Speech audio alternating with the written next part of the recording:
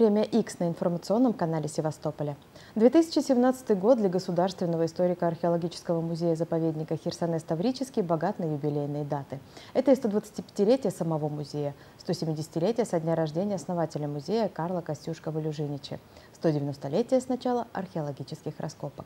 Одним из значимых событий стало возобновление работы античной экспозиции. Десять лет здание приходило в упадок, и вот реконструированный музей принимает многочисленных посетителей. С обновленной экспозицией еще 19 августа знакомилась Юлия Ефремова.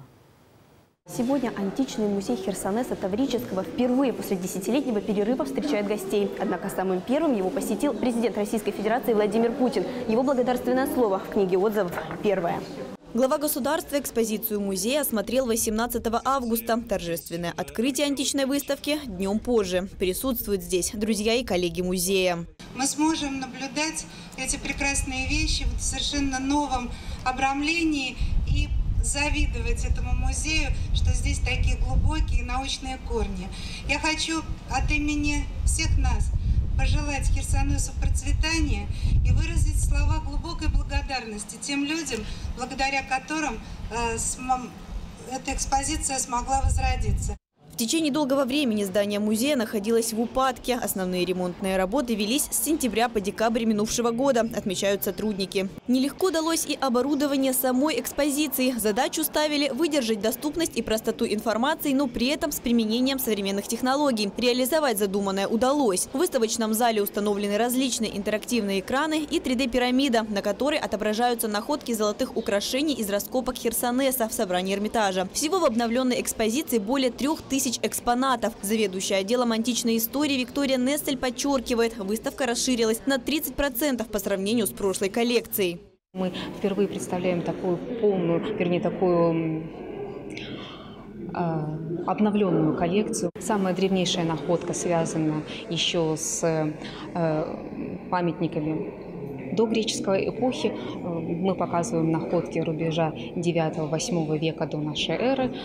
А самая поздняя из наших находок – это э, конец поздней античной эпохи, это находки 4-5 века нашей эры. Отметим, реставрировали музей за федеральные средства в рамках целевой программы. Приурочили его открытие сразу к нескольким событиям. 125-летию музея, 170-летию основателя музея Карла Костюшкова-Люжинича и Дню археолога. Юлия Ефремова, Павел Булгаков, информационный канал Севастополя. Продолжим тему с гостей студии. Это Светлана Евгеньевна Мельникова, директор Государственного историко-археологического музея-заповедника Херсонес Таврический. Здравствуйте, Светлана Евгеньевна. Здравствуйте. Как было сказано в сюжете, э, первым посетителем, кто оставил свою надпись в отзывах, стал президент России Владимир Путин. И не только он да, был из высоких да. гостей.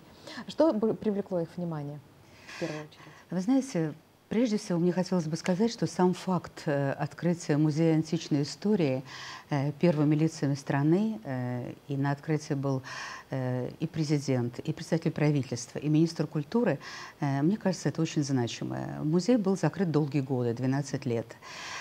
И эм, Открытие этого музея трудно переоценить. И я, наверное, повторюсь, если скажу, что я впервые в своей практике встретилась с таким явлением, как город – ждал музей.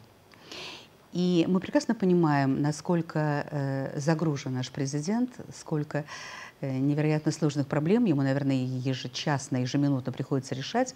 И, конечно, я была удивлена и потрясена тем вниманием, э, с каким э, он осматривал экспозицию. И слушал оперу в Херсонесе, это, я думаю, вообще не забываем. Опера, конечно, но когда президент остановился около присяги Херсонеса, а редкий музей имеет такой памятник, и, он и ее так читал, внимательно ее прочитал и обратил внимание на те вещи, которые, ну, прямо скажем, не привлекали моего внимания внимание до этого э, клятвы Херсонесита о необходимости сохранения территорий и возвращения всего, что принадлежало Херсонесу. И на это, конечно, откликнулся и Дмитрий Анатольевич. А затем мы подошли, внимательно смотрели буквально каждую витрину, и э, очень внимательно смотрели на портрет юноши, были потрясены качеством этого памятника. Он прошел через века, третий век до нашей эры, сложнейшая техника инкаустики. И вот все вот эти моменты привлекали внимание. А вот уже в конце, когда я показала президенту э, сохранившуюся первую книгу посетителей, он очень внимательно посмотрел на дату. Это был август 1892 года, когда в Севастополь пришла иностранная яхта. Мы не знаем, кто были гости этой яхты. И вот они ставили первые автографы о посещении э, античного музея. Это, конечно, было необыкновенно интересно. И вот слова благодарности президента за возрожденный музей, конечно, для нас очень значимы и очень трогательны. Это был такой яркий старт. И пользуется ли сегодня эта выставка, эта экспозиция э, популярностью? Действительно, старт был очень яркий и ко многому обязывал. Я вам хочу сказать, что на сегодняшний день э, сегодня уже больше, это данные до 12 дня я получила. Я знаю, что после полудня были еще группы. 208 групп прошло через античный музей, и индивидуальных посетителей больше трех тысяч. Эти цифры о чем-то говорят. Как вы считаете, индивидуальный посетитель, он может проникнуться и понять э, важность и ту информацию, которую несут те или иные артефакты? Или все-таки экскурсионные это более понятно, доступно и больше можно получить и информации? И э, вы знаете, все люди разные. Э, они приходят в музей с разной степенью подготовленности. Но то, что художественно музей организован так, что он производит глубочайшее эмоциональное впечатление на человека, это мне стало понятно, когда я стала читать книгу отзывов. Э, конечно, продуманный этикетаж, конечно, продуманные водные тексты. Но самое главное – это вот такое художественно-эмоциональное впечатление. Оно работает, и это очень важно. Несмотря что первые посетители были в 1892 году, сейчас эта экспозиция на европейского уровня. Да? Чем вы удивляете сейчас посетителей и что такого современного представлено?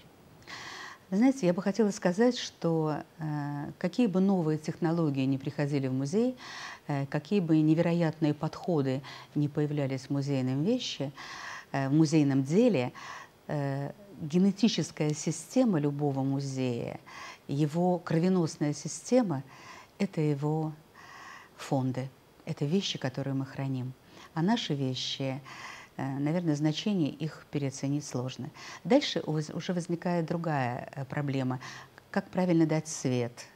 Э, на каком Охранить фоне это одно, выставить. А как экспонировать, да. чтобы сохранить их? Но, эм, к огромному сожалению, история музея складывалась непросто. И э, многие вещи, особенно раскопок э, дореволюционного периода, оказались в собрании других музеев а их показать тоже хочется. И вот здесь на помощь приходят новые современные технологии. И буквально в последний момент, вы знаете, как не просто привозить все в Крым, крымская переправа и так далее, Керченские э, сказать, э, переправы, но мы справились с этой задачей, и э, мы смогли вовремя поставить интерактивные столы, которые рассказали и о коллекции монет, и о истории создания первой античной экспозиции, экспозициях последующих лет. И, конечно же, наша пирамида, в которой представлены золотые вещи, которые сегодня находятся в Государственном Эрмитаже. И, пользуясь случаем, земной поклон коллегам из Эрмитажа, которые очень быстро предоставили нам все необходимые фотографии. Экспозиция живая, она живет мыслью, она живет смыслом, она будет э, наполняться, она будет изменяться в какой-то степени. И это очень важно удалось эм, сохранить э, эти все экспоненты при свете? Ведь свет для них разрушителен. Что... Ну, во-первых, э, свет имеет определенные характеристики. Очень важно направление света. А вот некоторые витрины могут показаться нашим посетителям темноватые, и для этого есть вполне естественное объяснение. Вот тот портрет юноша, о котором я говорила, это э, потрясающий памятник античности, огромный памятник, вот, выполненный в очень непростой технике, сочетание воска и минеральных красителей, он не подсвечен вообще, потому что направленный свет может его разрушить. Поэтому э, у нас э, в музейном деле, как в медицине, главное не навредить. Поэтому очень важно было создать необходимый температурно-влажностный режим. Надо, чтобы было э, комфортно и нашим вещам, и нашим посетителям. Как мы уже сказали в самом начале, 2017 год очень богат на юбилей для вашего музея. Расскажите, пожалуйста, что... Да, действительно, год юбилейный. Э, вот так, чтобы в один год сложилось столько значимых событий и дата открытия музея, 125 лет. Э, это ну, по античным музей. меркам это много или мало? Знаете, по античным меркам это мгновение. Херсонесу две с половиной тысячи лет.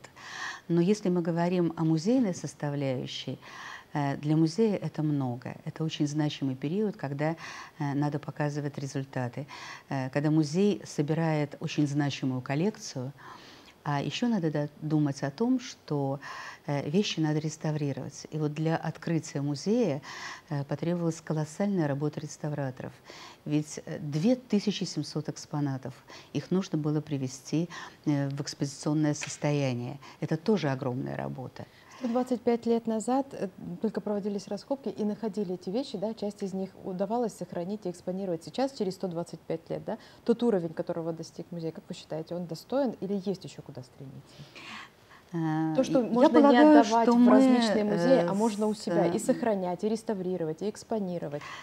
Э, мы создали, как мне кажется, музей европейского уровня.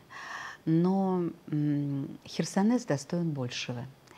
И, конечно, если бы у нас был э, хороший реставрационный центр, имеющий, например, такие диковины, как э, лазерная обработка мрамора, никто бы от этого не отказался. Мы очень надеемся, что в нашем новом фондохранилище э, найдется место для подобных э, редкостей современной хитрости, потому что наши вещи того стоят. Запасники Херсонеса э, таят в себе очень много интересных вещей. Ну, например, мы выставили комплекс Юпитера Далихены из Балаклавы. Кстати, очень непросто выставили. Э, там представлено и то, как вещи были найдены, и реконструкция, как это могло выглядеть первоначально. И когда э, экспонатура выставлялась, очень важно было сохранить вот эту вот задумку первоначального художника. И девочки-реставраторы блестяще справились с этой задачей. Они э, восстановили э, внутреннее пространство храма, так, как это делали римляне, в той же цветовой гамме, и э, даже с использованием тех же материалов. Была использована даже мраморная пудра. Вот эти все мелочи, вот эти все тонкости при создании музея, они имеют огромное значение. В этом году, 2 мая, уже исполнилось 170-летие со дня рождения основателя вашего музея. Насколько чтят его, насколько помнят и уважают тот вклад, который был? Вы знаете, история э, говорит нам о том, что за любой музейной коллекцией обязательно стоит чье-то имя. И какое счастье, что мы знаем эти имена. Роль личности в истории никто не отменял. И э, Карл Казимирович, э, который даже покоится на территории Херсонеса, он э, достоин всяческого уважения. Если бы он не сделал первый музей, склад древности, то сегодня о музее античности э, мы просто не могли бы говорить. И 2 мая, э, это день его рождения, сотрудники музея собрались около его могилы, положили на его могилы розы. И вы знаете, в нашей жизни э, в музейной случается очень много необъяснимых вещей. На его могиле растет какая-то э, трава э, такого воскового цвета, и в этом году было необыкновенное цветение. Вся эта трава покрылась маленькими белыми цветами. Старожилы говорят, что такого цветения Э, интенсивного не было. Мы сделали специальную выставку, посвященную Карлу Казимировичу, и наши гости могли на пюпитрах, на мольбертах, которые выставлены на территории, познакомиться с его жизнью, с его дневниками, э, с его отношением к делу. И ведь он писал, что если я буду разлучен с Херсонесом, я просто умру. И вот у меня такое ощущение, что Карл Казимирович сказал нам спасибо за память. Светлана Евгеньевна, э, юбилей не только время подводить итоги, но и посмотреть вперед, да? Следующий шаг. У нас буквально одна минута. Вот что такого вы готовите?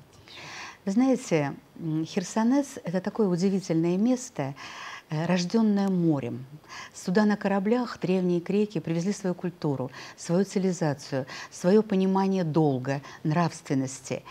И нам бы хотелось создать э, некое музейное пространство, где мы могли поговорить о Херсонесе во всех ипостасях. И давайте помнить о том, что Херсонес – это место, где русская нация родилась духовная. И очень бы хотелось сделать музей с условным названием «Херсонеса море», где мы могли показать то, что мы сегодня еще отнимаем у морских глубин, и поговорить в широком смысле об этом понятии – море, человек, цивилизация, духовность. Спасибо большое. Мы будем очень ждать, что же это будет и как оно будет представлено. Я напоминаю нашим телезрителям, гостем студии была Светлана Евгеньевна Мельникова, директор Государственного историко-археологического музея-заповедника Херсонес Таврический. Спасибо вам огромное, Светлана Евгеньевна. С вами же я не прощаюсь, уважаемые телезрители. До встречи на информационном канале Севастополя в программе «Премия X».